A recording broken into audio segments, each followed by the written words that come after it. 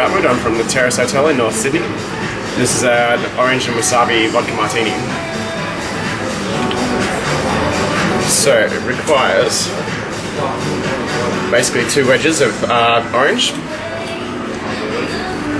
And that's muddled with uh, about a third of a teaspoon of wasabi paste.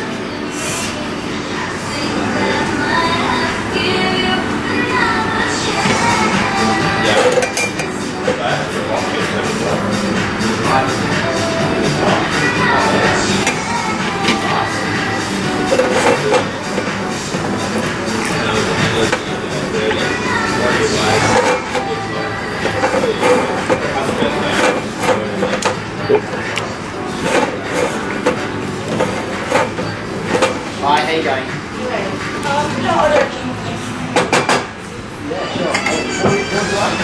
So the chilled martini glass, I line the glass with a- some Cointreau.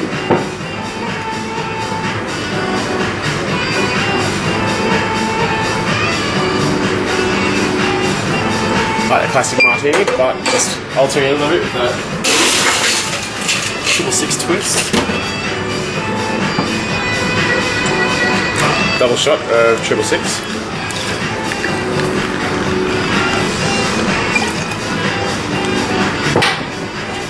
shaken lightly.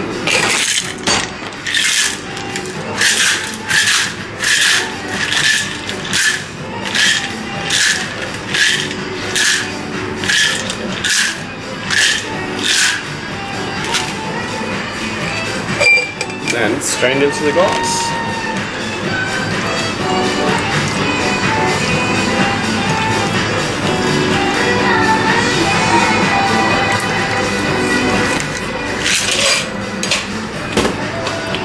To top it off, just got a bit of an orange twist.